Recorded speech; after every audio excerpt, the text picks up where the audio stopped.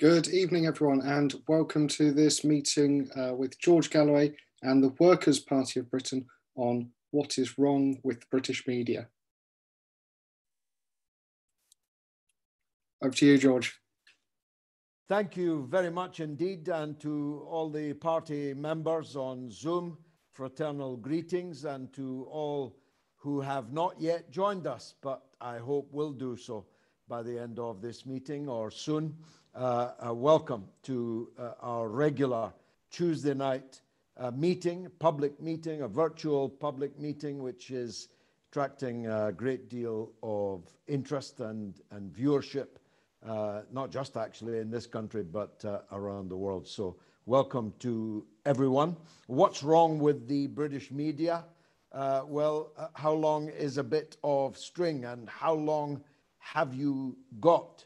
Uh, I'm one of those who has long followed uh, the dictum of the Scottish writer Tom Nairn, who said, Not until the last editor is strangled by the last copy of the British newspapers will we be truly free. I, I wish them uh, no physical harm, of course, but as a metaphor, uh, that's pretty much uh, where I stand. Uh, of course, the good news is uh, no one needs to strangle the British newspapers these days because they have well and truly hanged themselves, a subject to which uh, I shall return. Uh, but uh, let me uh, enter uh, a couple of caveats before I proceed. The first is that in 1945, when there was only one television station, and one radio station, and every single newspaper, with the exception uh, of the Daily Worker and the Daily Herald, which had uh, decent circulations, but nothing like the plethora uh, of their uh, opposition. Uh, Clement Attlee dumped uh, the great war leader Winston Churchill on his well upholstered backside uh, despite uh, the unremitting hostility of the vast majority of the British media. And yet, Labour won a landslide. Churchill, the hero of 10,000 newsreels uh, over the uh, preceding uh, six years, uh, five years at least, and who had personified uh, the country's struggle against uh, Hitlerism and fascism, uh, which reached its apogee, of course, uh, this week in 1945, 75 years ago, and we'll be celebrating Victory Day on Saturday, May the 9th, online, and you're all invited back uh, for that. Uh, the hero of 10,000 newsreels was unceremoniously booted out of power. Now, admittedly, uh, the Left Book Club, uh, again to which I shall return. Uh, the Left Book Club uh, in the 30s uh, and uh, throughout the war had seeded the ground for a new and decisive turn in British politics and British society. Admittedly, cells of leftists and communists, socialists, had been active in the armed forces uh, throughout the war. Uh, but the real overwhelming reason why Labour under Attlee, with a program that makes uh, Jeremy Corbyn's program for government look positively uh, Fabian, uh, was that the British people had, in their own minds, uh, made a decisive turn. And they were not to be dissuaded uh, by the talk of Gestapo and all the other uh, foul electioneering uh, of Churchill and the Conservatives and the right wing press at that time. Uh, so, uh, the point I'm trying to make is uh, that one must never be fatalistic uh, about the political situation. One must never look at the sea of hostility in the media and imagine that it is unvanquishable, uh, especially now uh, when we have many, many more tools at our disposal uh, than people did in 1945. To a lesser extent, in every regard, uh, Harold Wilson won two general elections in 1974 at a time when uh, the uh, security services were literally breaking into his residences, were bugging and burgling him all over London, and where even the publisher of the Daily Mirror was involved with uh, Lord Mountbatten and uh, other grandees in actual plots to stage a military coup against him and overthrow him and put the Prime Minister in prison. Uh, but Harold Wilson won not one but two general elections in February and October of 1974. This time, no Daily Herald. The Daily Herald had become the sun, if you can uh, imagine it. No Daily Worker, uh, only the Morning Star, which was uh, a dim star indeed compared to the, the Daily Worker of 1945. That's important, I think, to uh, grasp. And thirdly, uh, at a time uh, when there was two uh, television stations and uh, not much more than two uh, radio stations, and where there was no Daily Mirror on the side of on his side, Tony Benn became the most popular political leader in the country and, in my view, the most popular political leader of the left that we have ever had in this country. I'm in a position to know uh, because I was by his side, at his right hand, uh, as he traveled the length and breadth of the country in the early 1980s. Mr. Benn in the teeth of literally total, absolutely total media hostility, uh, which would regularly tell us uh, that uh, he was actually literally mad, uh, that he had driven himself mad by drinking uh, too much uh, tea, and that his ancestors were mad and it, it must have genetically transferred down to him at a time when his fellow cabinet members uh, and shadow cabinet members uh, were telling anyone who listened that he was mad or bad or both, and quite possibly a Soviet agent uh, to boot. Uh, Mr. Benn built a mass following of millions of people uh, in Britain. And uh, you may have heard me tell you before of my travels with him one in particular uh, in the obituary I recorded for him is worth uh, referring to in this regard. Having said all of that, it's undoubtedly true uh, that the proliferation of television and radio stations and the, uh, the maintenance of a virtually universal hostile uh, newspaper media uh, has undoubtedly uh, gotten worse. And there's no question uh, that the media played an important role, facilitated, of course, by the enemy within his own party, unaccountably, uh, uh, including people that he had kept close to him and even promoted. People like Keir Starmer, uh, for example, played an important role, though I argue not the most important role in the defenestration uh, of Jeremy Corbyn. Uh, the Julian Assange case is another case in point, where the mass media uh, has uh, turned on Julian Assange uh, in a, a, Pavlovian way and uh, may very well succeed in hunting him either to an early, untimely death in Belmarsh prison or to a living death in the dungeons of the United States. Um, the very day that we're in is further uh, example. Uh, the BBC, the state broadcaster, had not, at least by 5 p.m. today, reported on any of their portals that Britain had just become the second worst coronavirus black spot in the entire world, had overtaken, and we're always told we're two weeks behind Italy, had overtaken Italy for the greatest number of deaths. And if you follow the FT, which I do religiously, uh, you'll see today that their prediction, uh, based on uh, their numerology, which I think is much more dependable, either than the ONS or the NHS, and still more the British government spokespeople themselves, our death toll has reached 55,000. Uh, in other words, not that far short uh, of the United States figure, although they have many times the multiple of our uh, population.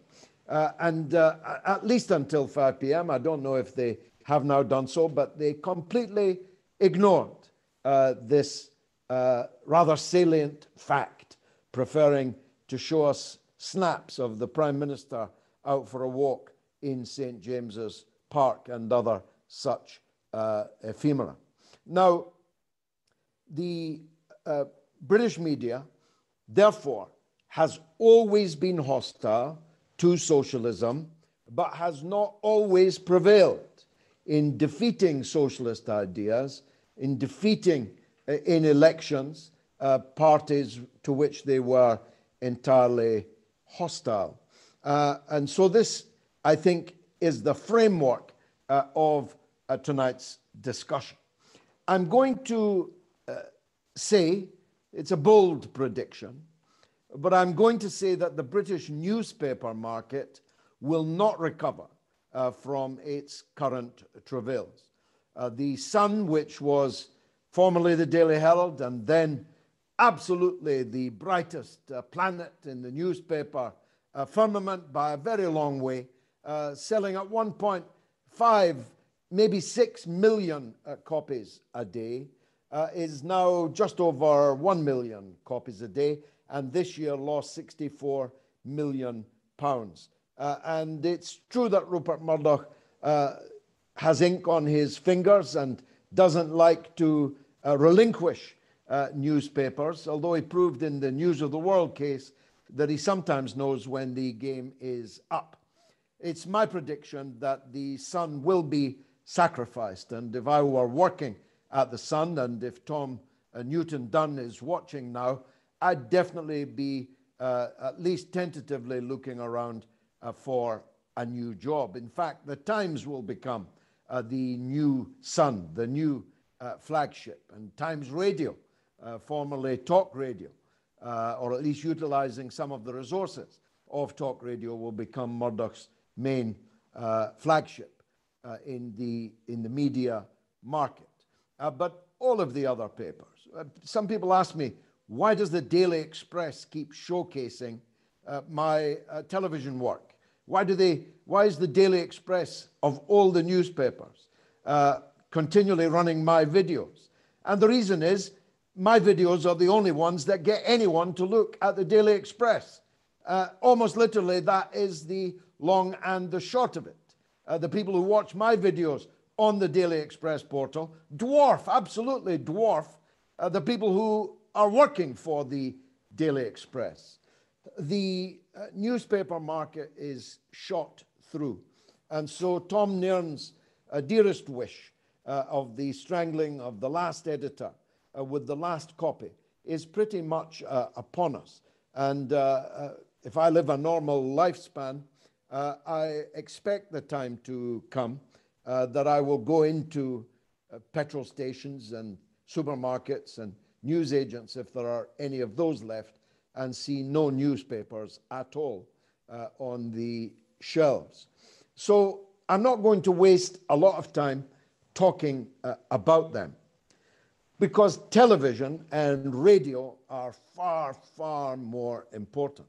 Of course, the enemy television and radio stations use the popular prejudices paraded every day in the newspapers as the basis for their broadcasting. That's true. Right from late at night when Sky reviews uh, the next day's newspapers.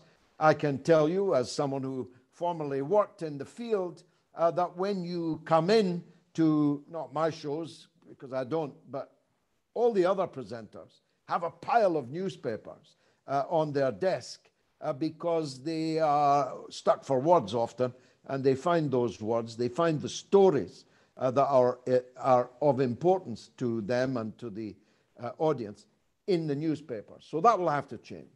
But television and radio are the future. And again, there's good news here. Uh, because the cost, the reason why it took to the 1970s before there was a second TV station, uh, and into the 1980s before there was a third uh, TV station, and into this century uh, before there was this plethora of television stations, is that the cost of entry was very, very high. You needed to own a lot of hardware and then later a lot of money for satellite time in order to have a TV station. But all of that, as this broadcast proves, I'm broadcasting to you for free, and you are watching me for free, and you can interact with me for free. So actually, the cost of entry has not just fallen, it has effectively disappeared. Uh, now, uh, just before you uh, uh join me, uh, until seconds before you join me, I was uh, paying Sky some more money, not that much more, to get an even better, faster internet speed. And of course, there's still a way to travel before the quality of these pictures will be as good, the quality of the audio will be as good as you're used to uh, on terrestrial, on satellite television, we are well down the road uh, towards a time when that will be true. And that means we have our own television stations, we have our own radio stations. Oh, wait, I already do. Uh, the greatest thing that ever happened to me was being sacked by talk radio because I have gone from an audience of some 30,000, 30, 30, on talk radio, to an audience of in excess of half a million every Sunday uh, with the mother of all talk shows. And famously, on one occasion, 1.17 million viewers, never mind the listeners who are listening on radio, FM in Washington, D.C., AM across America, or online on SputnikNews.com. Uh, so, uh, uh, and I'm better paid, uh, and I'm absolutely free, uh, and there's no Ofcom uh, to interfere in my output. Only decency and ethics police my output on the mother of all talk shows. And other people are now catching on. Uh, so a, thousand flowers will bloom uh, in this garden.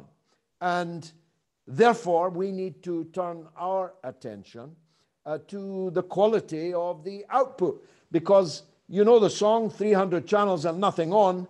Uh, well, we must make sure that in this new era, that's not true of us as it was true of them. So our graphics have to be uh, tip top, our camera work, our microphones uh, have to be tip top, our marketing of our product has to be tip top. But all of these things are as nothing if uh, somebody comes on and reads in a monotone voice out of the London telephone directory, if such a directory still exists. It's got to be good content if you're going to grab the audience, keep them coming back, and grow the audience. And that means uh, applying the creative uh, spirit that is within all of us uh, to this new challenge. And already we're seeing that in microcosm in our work uh, elsewhere on social media. Uh, the, my followers, well over a million followers on social media. Uh, it's not every post is as good as the one before it, of course. not every video is as good as it could or should be. But by and large, I'm keeping my audience growing and growing on social media because the content is good.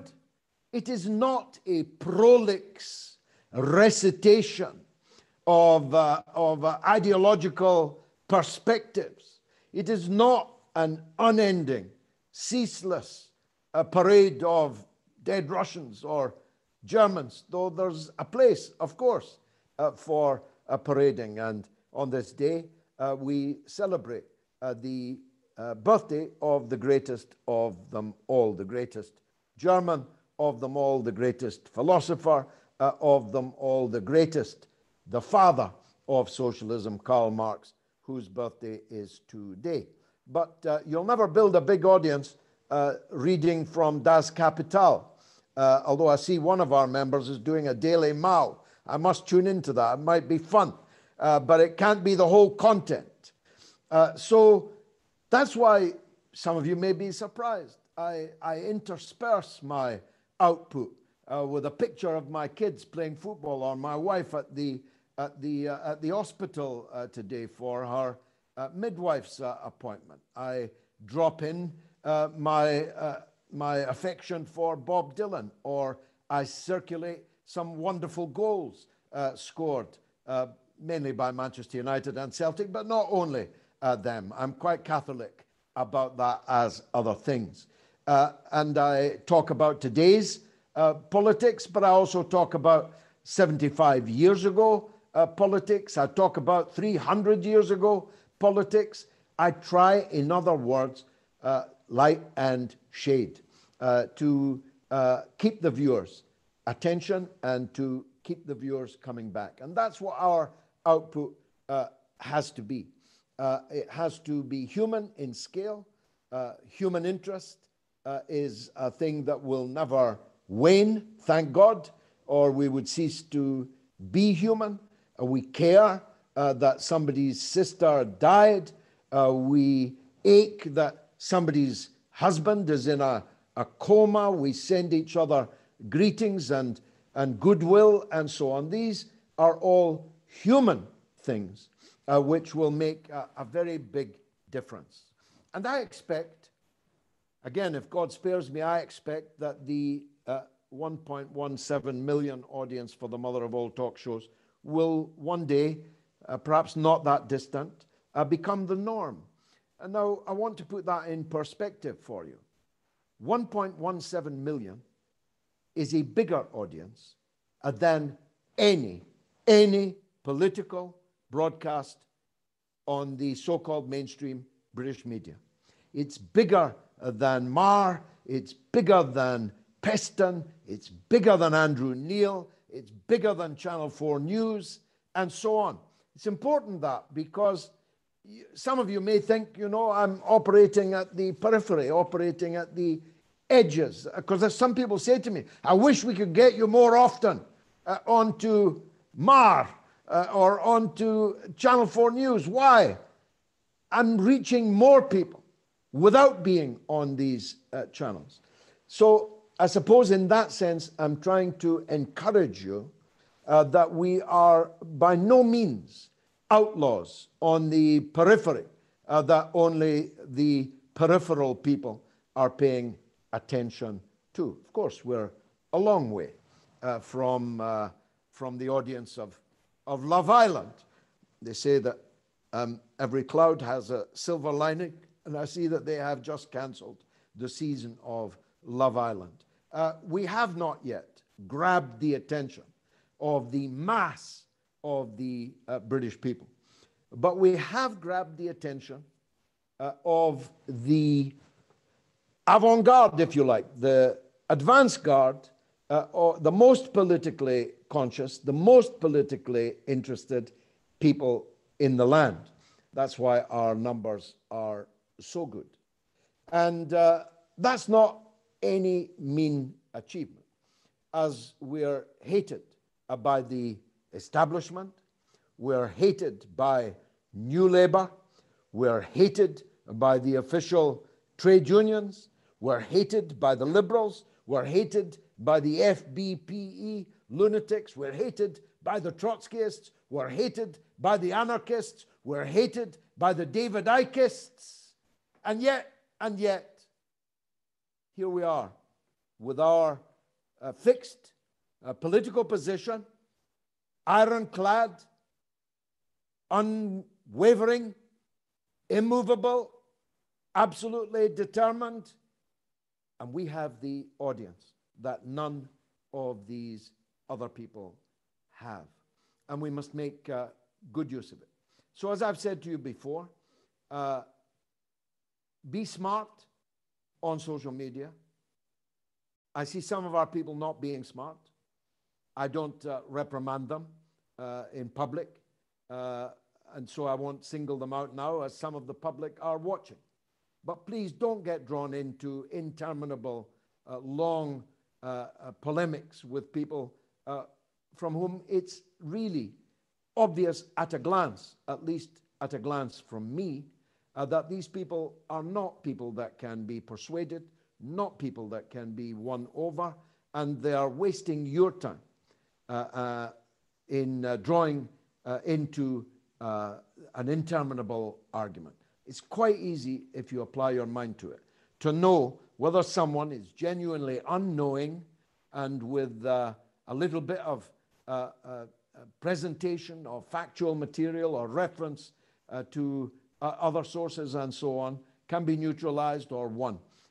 it's quite easy to differentiate between such people and the people that I see some of you arguing with. And uh, although I fall foul of this myself from time to time, please don't swear when you've got the uh, Workers' Party logo uh, on your uh, social media.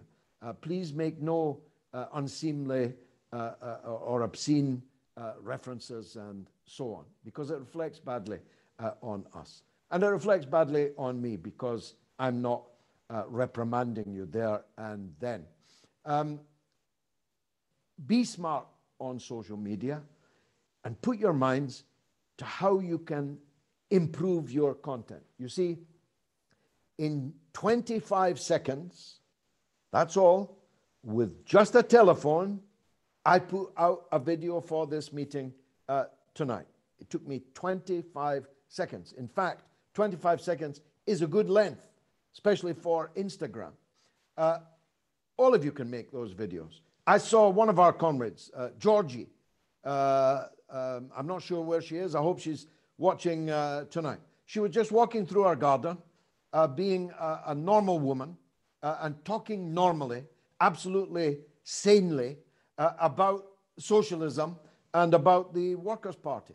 And it was, it was a thing of beauty. Now, you can all do that. All of you can do it the more very short, good videos that you can make, good graphics that you can make. Our Grimsby boys, uh, uh, uh our, our, Charlie and Danny are just masterful uh, at this. If, uh, if I were to win the lottery, I'd employ them full time and pay them a wage uh, to do it.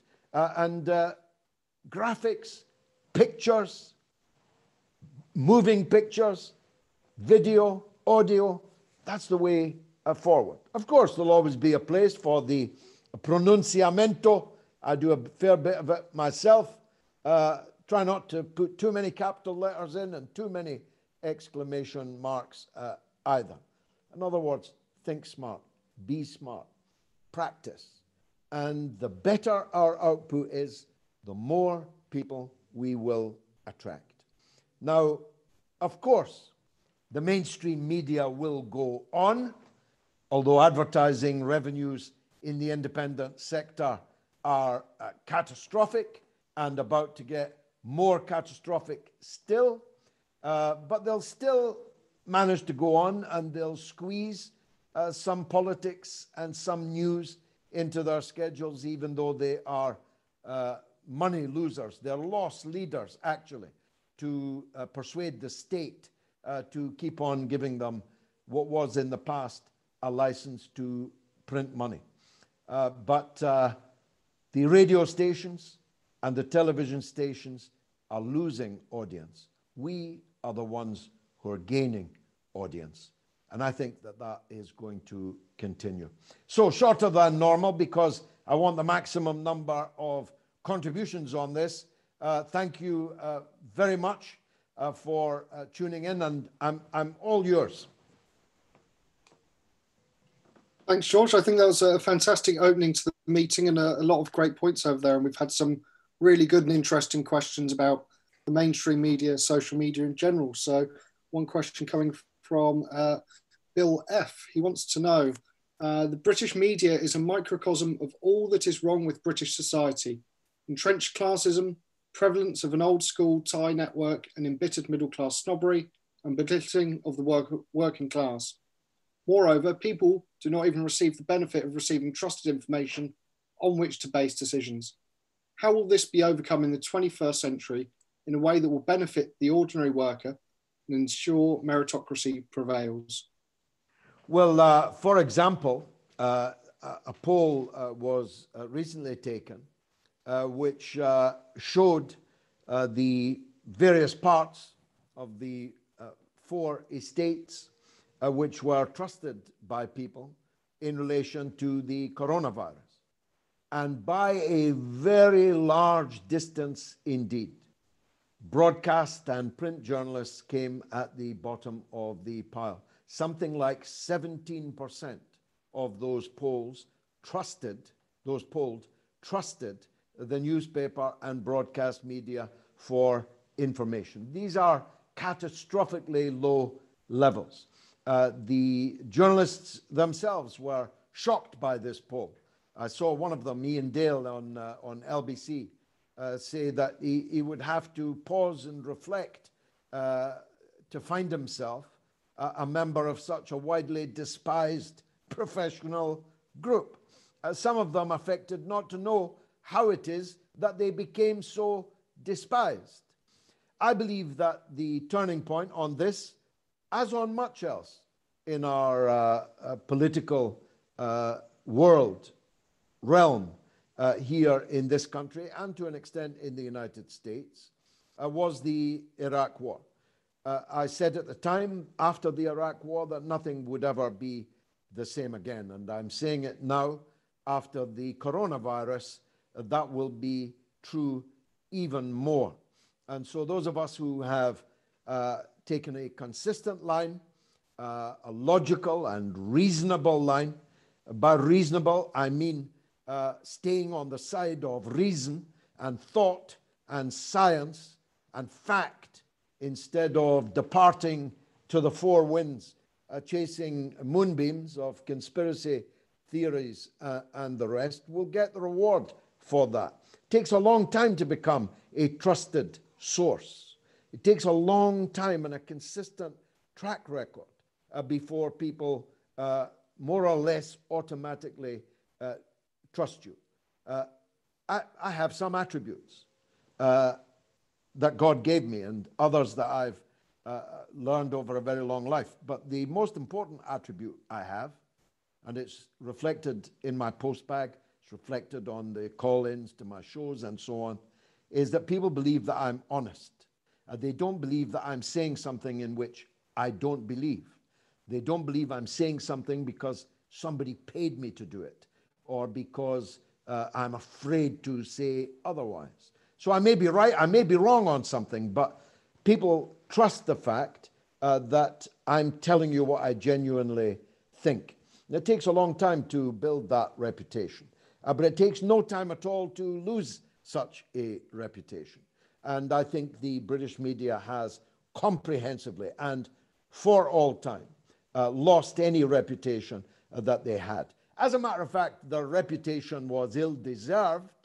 I was brought up in a house that thought the sun shone out of the BBC's arse. Uh, I was not even allowed to watch ITV. I have not until this day ever seen a an episode of Coronation Street. If my parents caught us watching ITV, they switched it over immediately.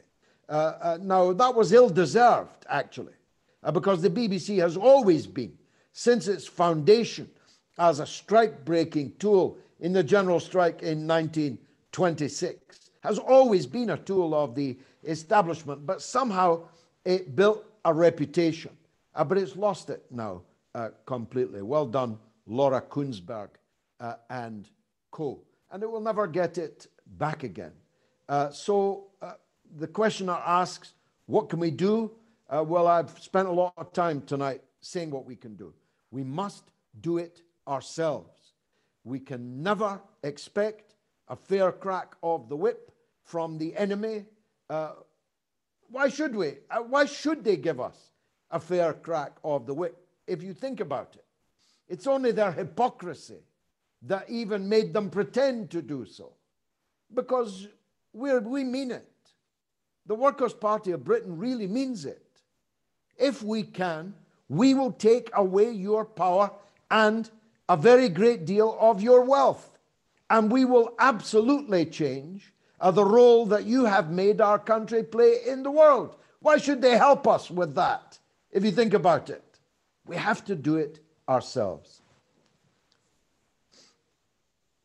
Thanks, George. And uh, the next question comes uh, from George Dragon.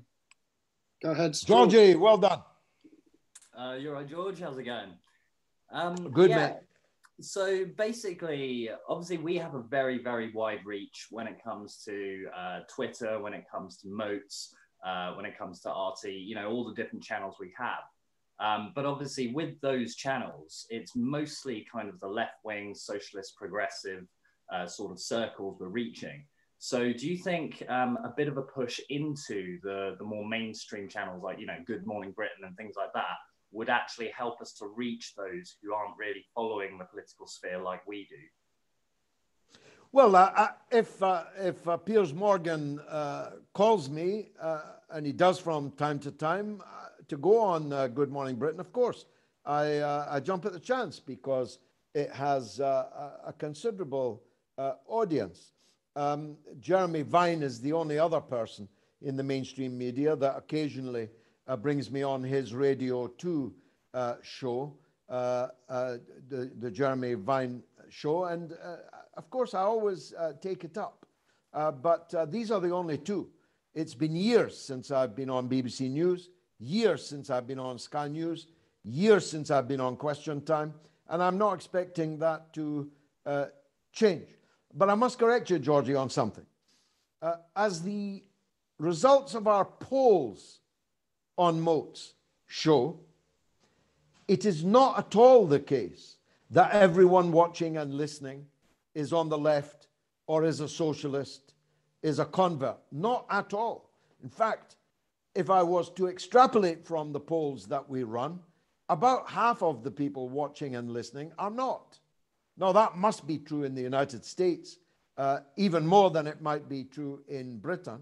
Uh, uh but uh, it, it is the case uh, that I have a following uh, of people who want to hear what I've got to say for the reasons I explained earlier, even if they don't agree with it. And when they do agree with it, they frequently opine, I never thought I'd agree with Galloway, but if I had a pound for every person that has said that in my life over the last 20 years or so, especially, I'd be exceedingly rich indeed.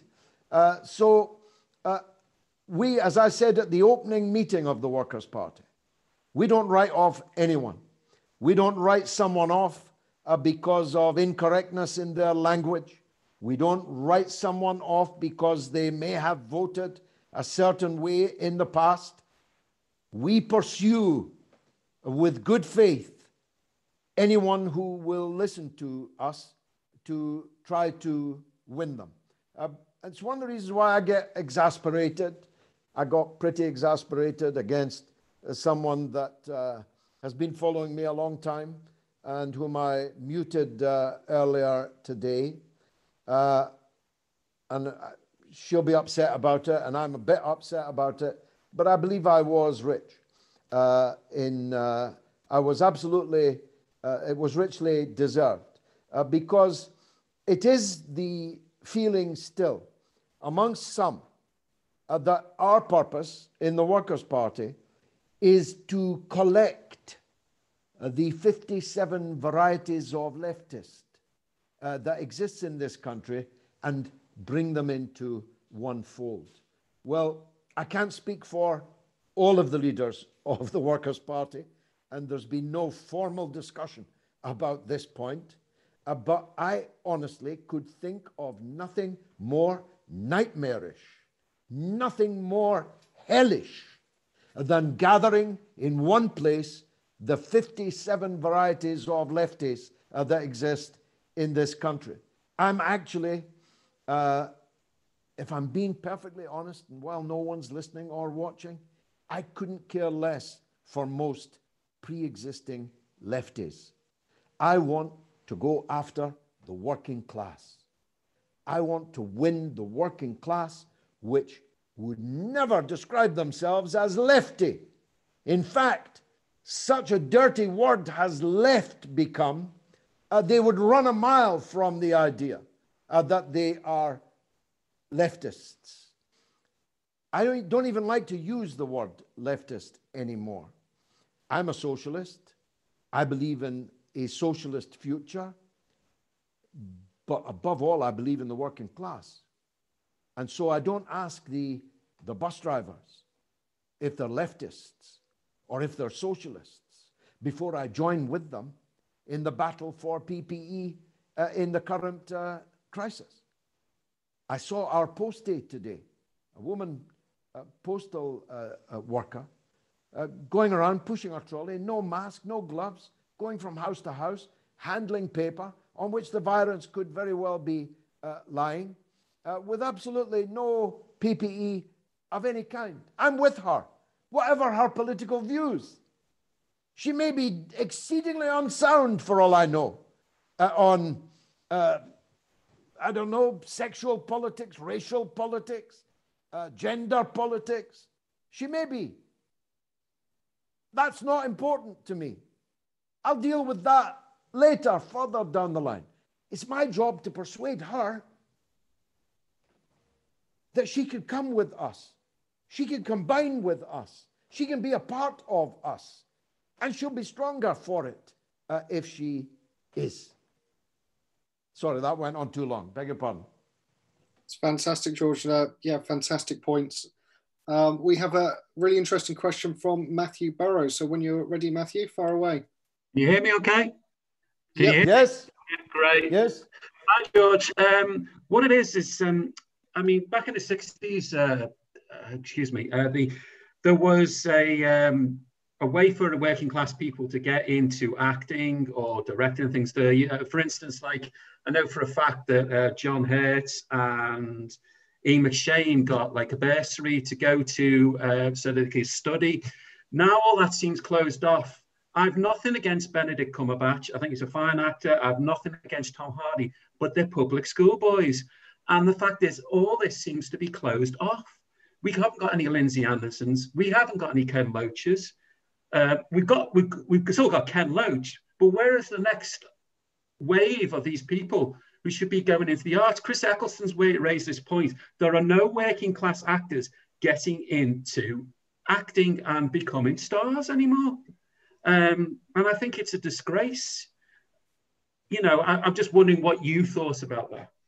Well, uh, I, I, my first point is I'm exceedingly disappointed to learn that Tom Hardy is a public schoolboy because I absolutely love him as a, an actor, as a, as a film star. In fact, I'm watching him uh, on Taboo uh, on the television uh, late tonight. Uh, so uh, the point that you make is abundantly clear. we've still got Ken Loach, but he's no spring chicken. And his best years of filmmaking are behind him. so we need more Ken Loaches. And I feel sure that the, this artistic wave uh, inside the working class has uh, by no means uh, ended. We, we have uh, one very close to us, Chris McGlade, uh, who took uh, the, the West End by storm just before the coronavirus was about to break into, into Hollywood. Hope that hasn't gone away when the virus does. and, you know, people who think like us are many. Uh, there, are, uh, there are many millions, and there are uh, children not yet uh, in the political uh, sphere uh, are no doubt thinking artistically. We've got Alex Wilmot, we've got Guy, who I hope are both watching now. Maybe you and they should get together and produce a paper for us, just charting the, the spaces that have disappeared uh, the opportunities that are no longer there. Uh, and that will help us put together an arts uh, policy, and that would be a good thing, I think. Thanks, George. And we have uh, a couple of questions written in here from uh, Mark Adkins. Uh, why do the media only ever interview parents and children that are keen for schools to reopen? Capitalism seems to have made enjoying spending time with your children taboo. Very good point. Uh, uh, there's uh, clearly been a, a turn amongst the ruling elite, the establishment, business, to force the working class into potentially fatal workplaces uh, in order to save uh, what's left uh, of capitalism. because we exist to defend the workers, we resist this. Uh, and we, uh, we, we make no apology uh, for it. It's not our job to save capitalism. If Richard Branson cannot stand on his own two feet, then he must fall. And the state may well then pick up the pieces and to some extent will do. so we stand against this drive, which is clearly on uh, to stampede our people back to work, back to school, uh, before it's safe to do so. And uh, we will not waver uh, from that. Of course, we, uh, we demand uh, the, the financial wherewithal to allow our people to stay at home. And there has been some success in that 80% of your wage up to 2,500 uh, a month is uh, paid by the state uh, is, uh, is not a small thing. Uh, and it's, uh, it was fear of the response of the working class which made the Tories do that. It should be 100% of, of your wages. We will not tire of pointing that out. but we will not, we will not waver. And now, Italy and Spain uh, have uh, now gone back to work. There are a couple of weeks in terms of the curve uh, of the whole thing uh, ahead of us. I'd be very surprised indeed if there's not another massive spike in infection and death in Italy and Spain. And so uh, I will not support uh, a return to the front by the mass of the workers uh, whilst there's still such a danger to their health and even to their life, as well as, of course, continuing to demand the full PPE for those key workers, critical workers who must work, uh, but who are so powerlessly under predict, protected at this point in time. Thanks, George. And a question coming from Gavin Hawkton. There is so much disinformation and hegemonic narratives within our media that distort the case for socialism. How can the Workers' Party cut through the noise and reach out to the wider public? How important is social media on this point? Oh, totally, uh, crucially, and uh, and just argue for good things. You don't need to wrap it up in isms. You don't need to wrap it up in uh, in uh, in ideological language. Uh, just propose things which would be good, which would be good for the people, and the people can be persuaded of it. And we are already a long way down the road on that. Uh, the, the numbers of people in Britain supporting the renationalization of the utilities that were stolen from us is enormous. Uh, the demand for the renationalization of the railways is even bigger uh, than for the renationalization of the utilities. And here I come to uh, a USP of ours. Everybody else, Labour, are demanding uh, the defense of the National Health Service. We're different. We demand the renationalization of the National Health Service. We do not pretend that the National Health Service we have today is wonderful We think it's wonderful, minus all the underfunding and privatization that has gone on to date.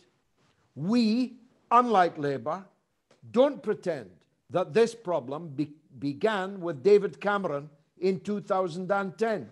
So every time you hear someone mention uh, that the Tories and austerity have uh, gutted the NHS, point out that it's 40 years, not 10 years, of privatization, PFIs, underfunding, and the systematic perversion of the idea of a national health service, uh, which is personified in uh, Stuart Stephen, uh, the, uh, the US uh, private healthcare boss, who's now in charge of our National Health Service. So we are not defending the status quo in the National Health Service. We're demanding a return to the status quo ante, which existed before that 40 years of privatization, part and full, uh, of the National Health Service. But our position and the position of Labour uh, to defend the NHS, well, um, who doesn't support that? That's why I was interviewed earlier about uh, uh, uh, uh the, the trade talks with the United States. Some people still say, you know, the Tories will, will try and bring the Yanks openly into the, into the NHS. They will not do so. they cannot afford the risk of doing so.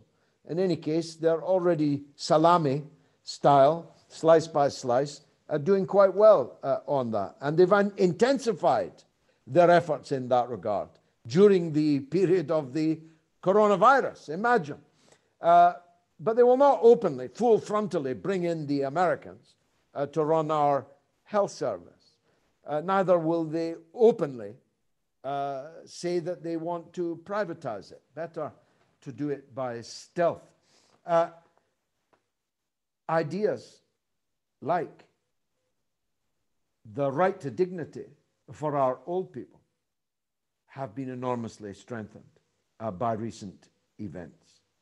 That thousands of our old people should be stuck in what are effectively granny farms uh, where they are not just there waiting to die, but are actually being killed uh, by the failure of these places to protect them and the big failure of the NHS throwing people out of hospital into these homes.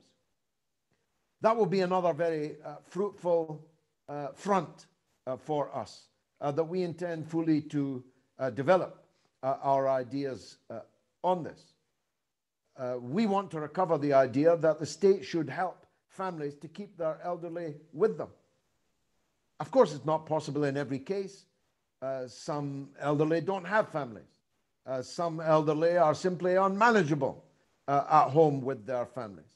But a large number of our elderly should have had no need to be put in these places in the first place. One of the extents to which Eastern societies are superior to Western societies in the respect uh, that they give to their elders and the, uh, the fact that they would never, I mean, it would literally, uh, my wife is from uh, Indonesia, as people will know.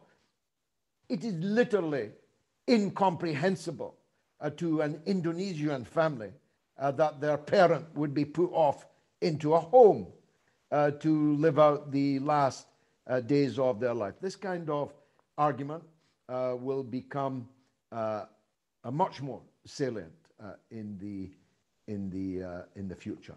So uh, I, I believe that socialist ideas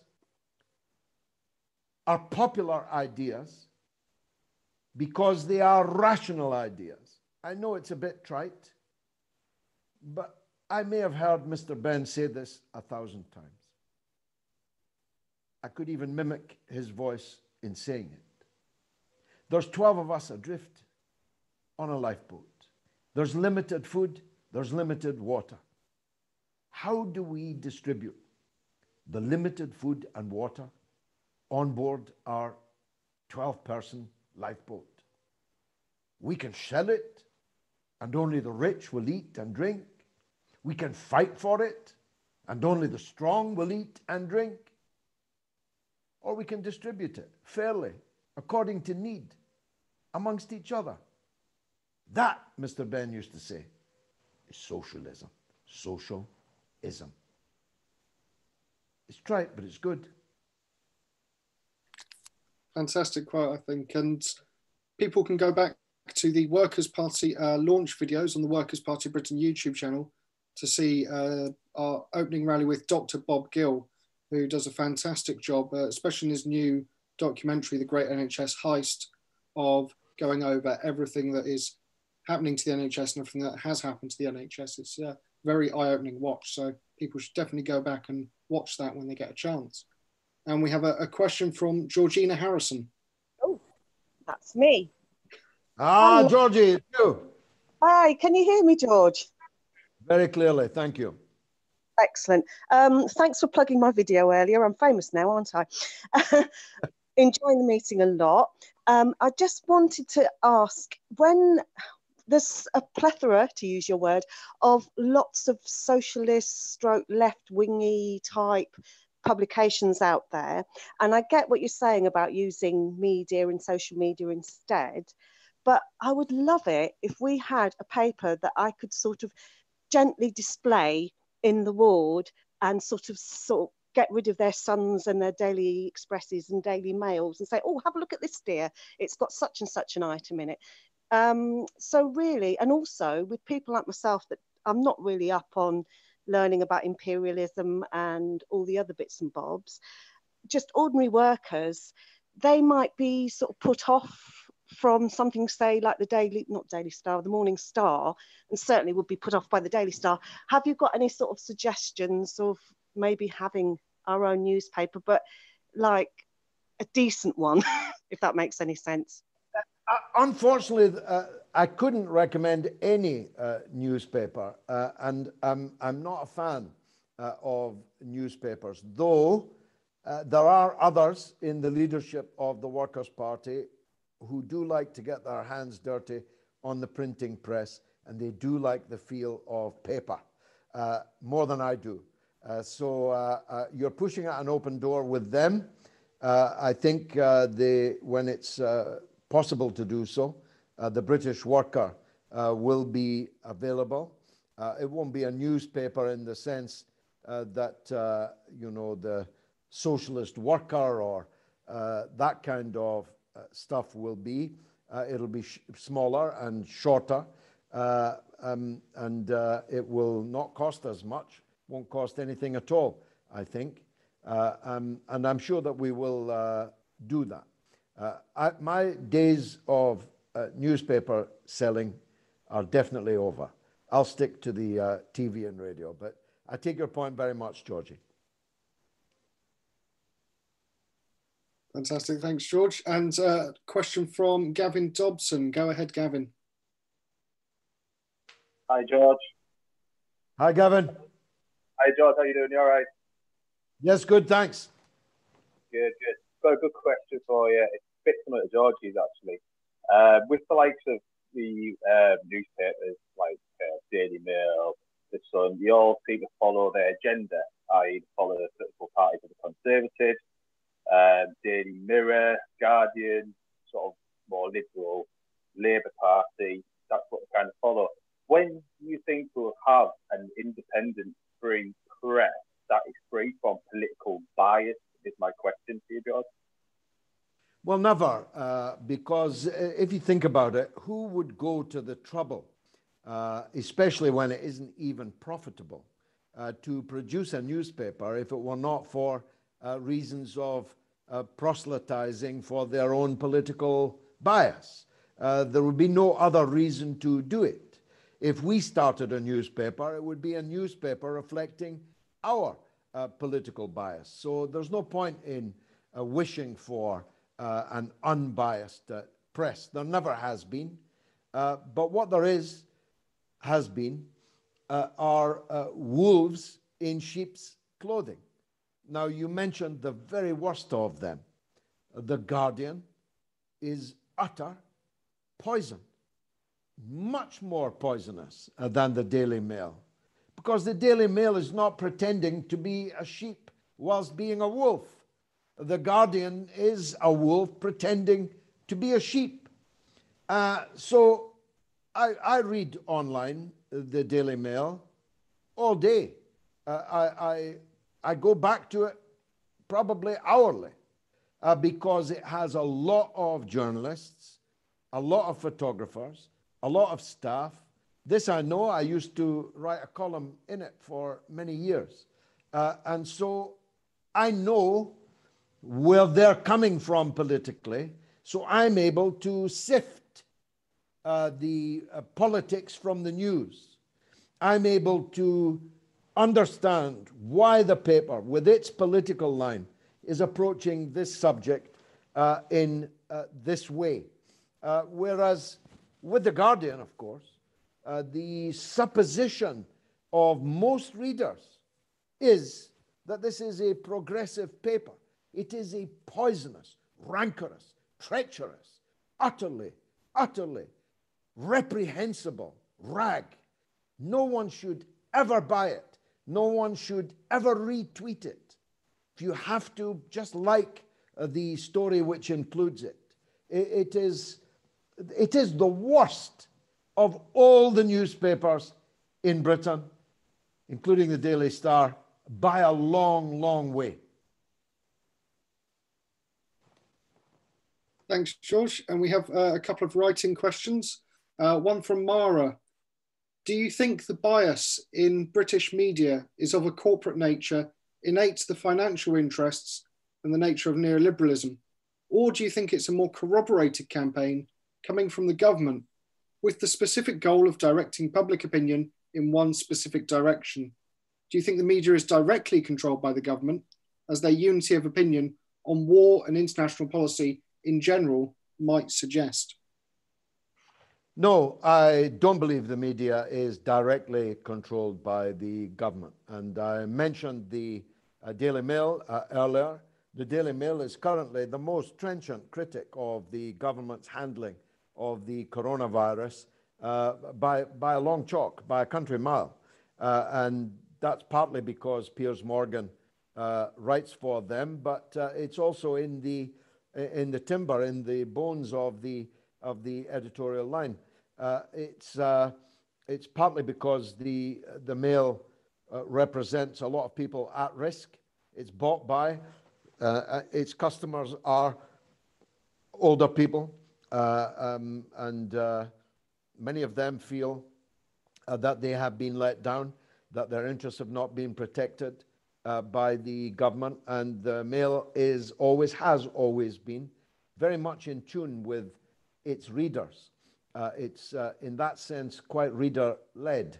Uh, it's historically known, for example, as, as a woman's paper.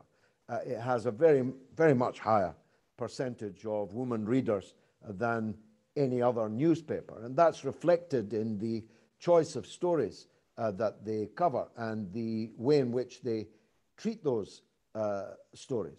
No, I don't believe the government controls the press.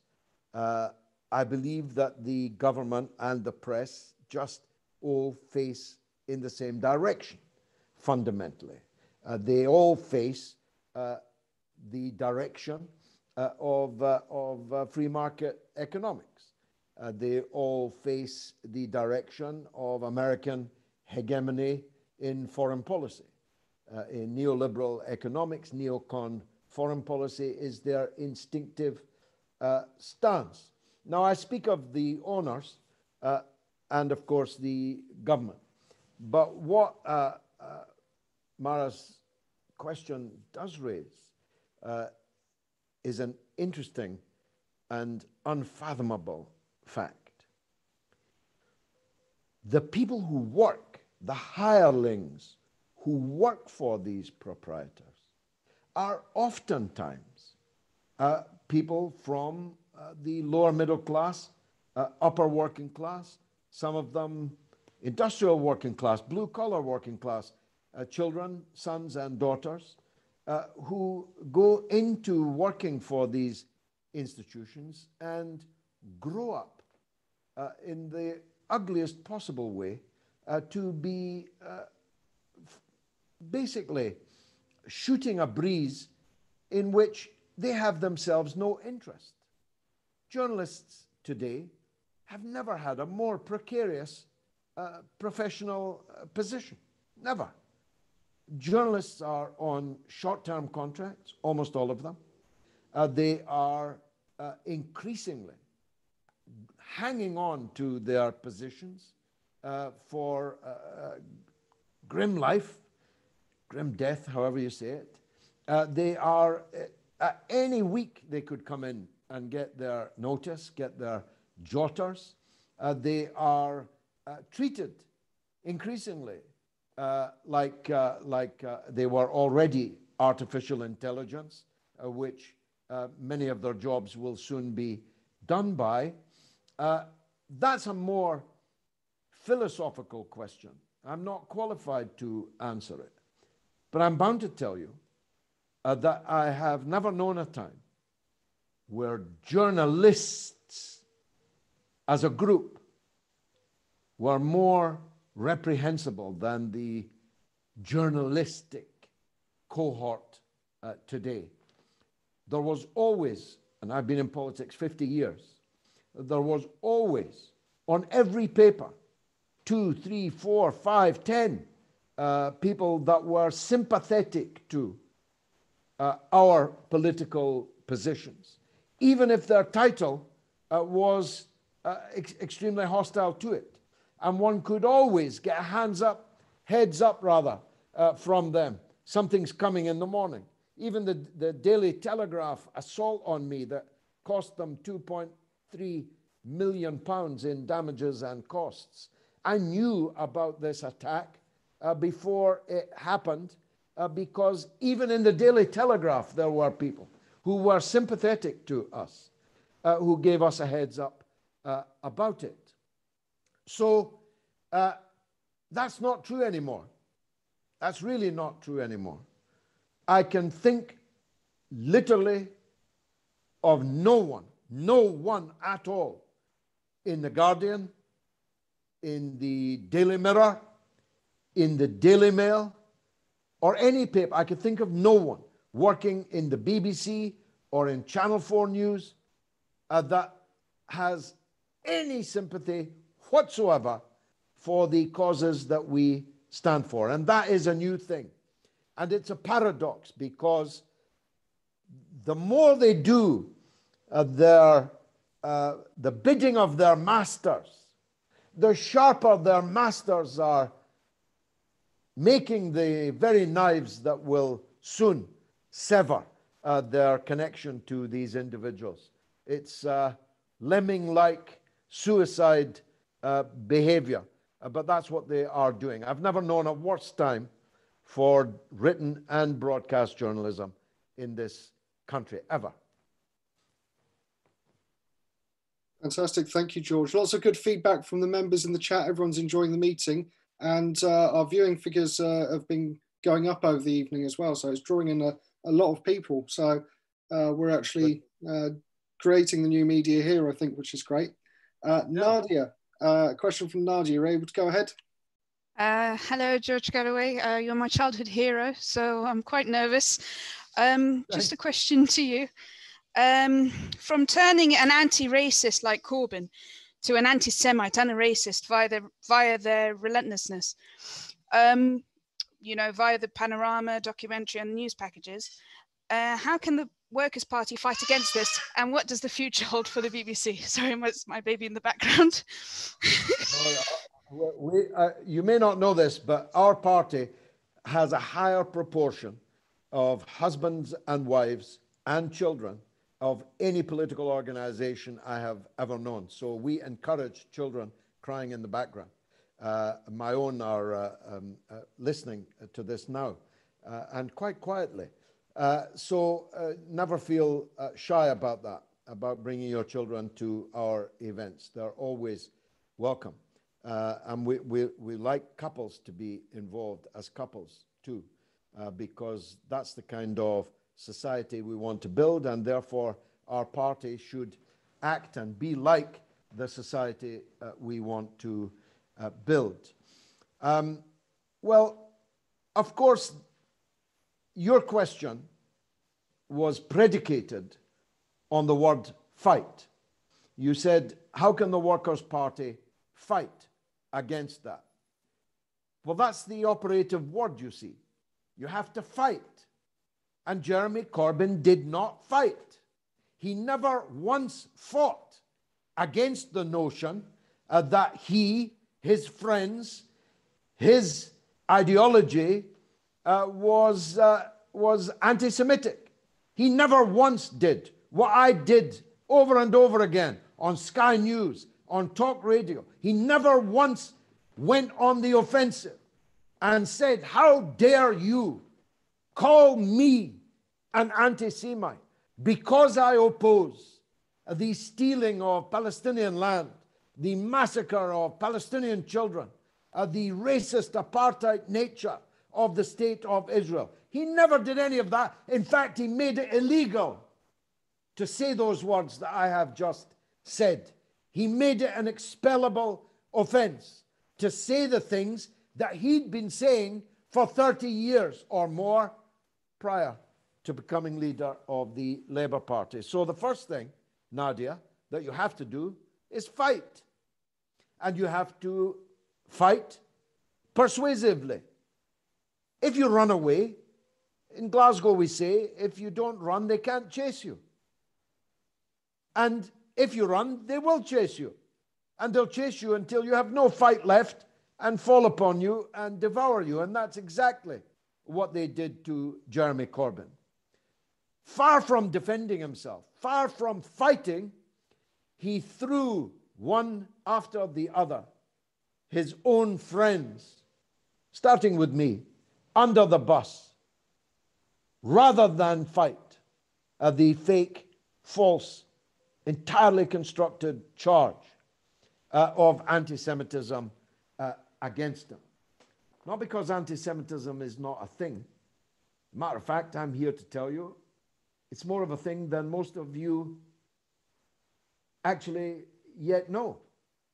Uh, I've studied this very, very closely, and I'm in a good position to. Anti Semitism on the left is a thing.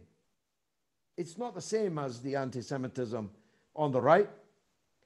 It's a morphing of anti capitalist, anti finance capital, anti Israel feelings, which in some people comes out of their mouths, from their brains, in anti Semitic thought and speech. Not expressed in the way that the Hitlerites did, but nonetheless uh, anti Semitic. Uh, when I read someone say, hear someone say, Rothschild, I immediately reach uh, for the dial uh, because this almost always displays that the person using it has disappeared down that rabbit hole of conspiracy theories and hunting for cults and Illuminati and New World Order. And a lot of it is code for Jews. So anti Semitism is a thing. I myself think Corbyn was slow to uh, conclude uh, that point. Uh, I would myself have uh, dealt with the uh, examples of anti Semitism that were truly anti Semitism much more quickly and much more ruthlessly than he did.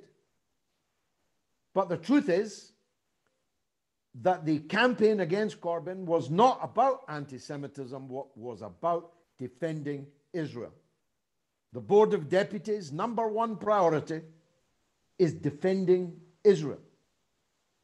And the uh, Israel lobby in this country, is the, the clue being in the name, has as its first priority the protection of Israel. And that's why they went after Jeremy Corbyn, and he did not fight it, to use your word, Nadia. So the first thing we'd do is fight it.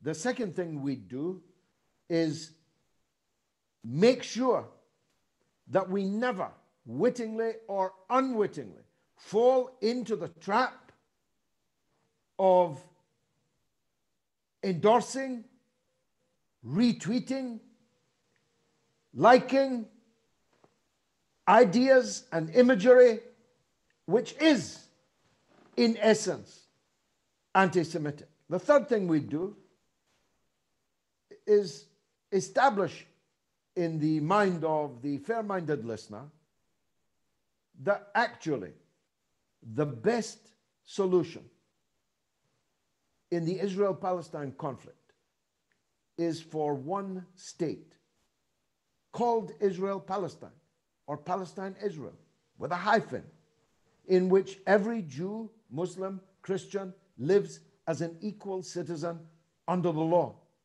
One man, one woman, one vote. Just like we fought for in South Africa, is what we should be fighting for in Israel, Palestine. If we can persuade the fair minded listener that that's actually the only equitable way in which this crisis, this century old conflict, can be brought uh, uh, under control and brought uh, towards resolution, that's the only way to do it. Thanks, Nadia. Thanks, George. And we have a question from Fran. Go ahead, Fran. You're right. Um, I just wondered what you thought about like the right wing, like Trump sort of switching this media thing like on his head, and he like claims that fake news is written by the establishment against him. Do you get what I'm saying? They're like, yeah, yeah. I, I think he's done. Go on, you go on. I think, no, I think he's done a really good job on that. I wish Corbyn had done that.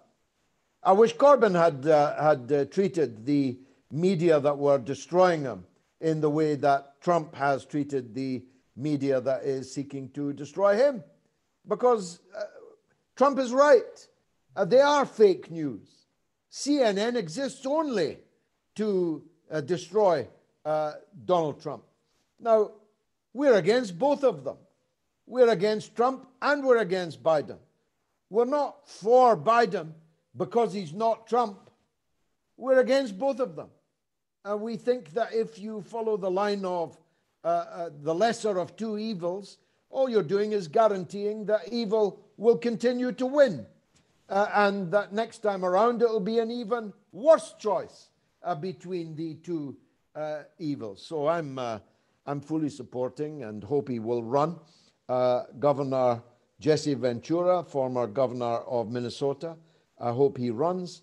I hope he runs as the Green Party candidate, but if not, I hope he runs as an independent uh, third party candidate. Um, I'm against them all, but that's not going to put me on the side of CNN or MSNBC uh, because, I, because I hate Donald Trump. Uh, they are lie machines, absolute lie machines, even worse than we've got here and their hypocrisy is, of course, uh, demonstrated uh, uh, by the support which overwhelmingly the US media does, uh, the support of Joe Biden uh, with all the baggage uh, that he is carrying increasingly, falteringly. Thanks, George. And the next question comes from Jamie McNeil. Go ahead, Jamie. Good evening, George. Uh, just a quick query, really. You may have answered this already. I was a little bit late to the meeting. Given the quite successful campaign by the group led by donkeys that use billboards, um, do you believe that could be a viable option to transmit the Workers' Party message um, across the next two years? Billboards? Yes. Yeah, I, am a big believer in uh, billboards, but they are extremely expensive. Although what I do think would be good uh, if our uh, people at the center uh, could begin slowly to uh, develop uh, an inventory of small business people that support us. And there are far more than you would automatically expect. There are supporters of ours that own small corner shops or, or small businesses where they have the ability to make available to us uh, sites that we could use for billboards. Uh, of course, the, uh, the cost of commercial billboarding is, uh, is way beyond our uh, reach, uh, fantastically so. Uh, but I do think it is a very, a very powerful advertising medium. Um, as I drive into the RT building on a Sunday, now that there's virtually no traffic around, I see just how extraordinary is the, uh, is the power of these billboards. Some of them very beautiful and very creative and artistic uh, also. Uh, so, you know, um, advertising works. That's why they spend so much money on it. Thanks, George. And a question from Sammy McKenzie. Uh, what ways can we channel our party towards those disenfranchised with those who have left the Labour Party and other parties that are politically left leaning and desire a new type of working class politics? Well, uh, of course, uh, most of the people now joining us are people who were in the Labour Party. There's a mass exodus out of the Labour Party. Uh, it's, uh, it, it's a hemorrhage uh, rather than everyone leaving uh, at the same time. But over the last couple of months, uh, the Labour Party has been hemorrhaging members, and that will go on for the rest of this year as uh, Starmer, the full horror uh, of Starmer uh, becomes obvious. The brutal, brutal dispatching uh, of the Labour Party's General Secretary, Jenny Formby. Jenny's uh, undergoing chemotherapy. she's a cancer patient. but Sir Keir, uh, has nonetheless hounded her out of her job. Uh, the way in which the Labour Party is rigging the so called investigation uh, into uh, the evidence which emerged, which horrified every Labour Party member with any decency, uh, is uh, obvious. They're, they're going to blame the departing General Secretary, the cancer patient. They're going to blame her uh, for the uh, papers, the leaked Labour uh, papers. And they're going to blame anyone who has left the premises. Seamus Milne, Jeremy Corbyn, they'll all be blamed for, for this. Talk about shooting the messenger. Uh, so that will lead to a, a still bigger hemorrhage. Uh, some cling on uh, with increasingly less persuasive uh, arguments like hang on till the NEC elections uh, in the uh, summer, like the NEC, which is already in the control of Keir Starmer, which was in any case in the control of the right, even when Jeremy Corbyn was the leader, because at least half of the so called lefts on the NEC were actually on the right. Lansman was their leader, but he was by no means the uh, only one. There were many who were elected on left wing tickets. So that's not going to happen. Keir Starmer and the Blairites, who are now in charge of Labour, are never, ever going to relinquish that charge. There will be no more morons, to use their words, uh, nominating uh, just for a laugh, just for the sake of the debate, uh, a left wing challenger for the Labour leader. As a matter of fact, the rules will be rigged uh, that the Parliamentary Labour Party, through its control of the nominations process, will have absolute control over the election of a Labour leader. So any Labour leader who has the support of their MPs will continue as leader, just like before the democratisation of the party in the early 80s. Uh, so the NEC elections will come and go. Nothing will change. Starmer will be just as bad. Uh, and uh, so that hemorrhage will continue. Uh, our appeal can't appeal to them all uh, because some of them are liberals, some of them are Trotskyites, some of them are both at the same time. two sides of the same coin. We, we can't appeal to them. We don't want to. Uh, we don't want to appeal to them. But for decent working class socialists in the Labour Party, of whom there were and are a very substantial number, a six figure number, we say that we represent what a Labour Party, a working class Labour Party should be. And you should join us. Because staying in a party on the basis that you're going to fight your own party for the rest of your political life is the very definition of a waste of time. Trust me, I've been there and done it. It's bad for your soul. You've no idea how liberated I feel inside the Workers' Party.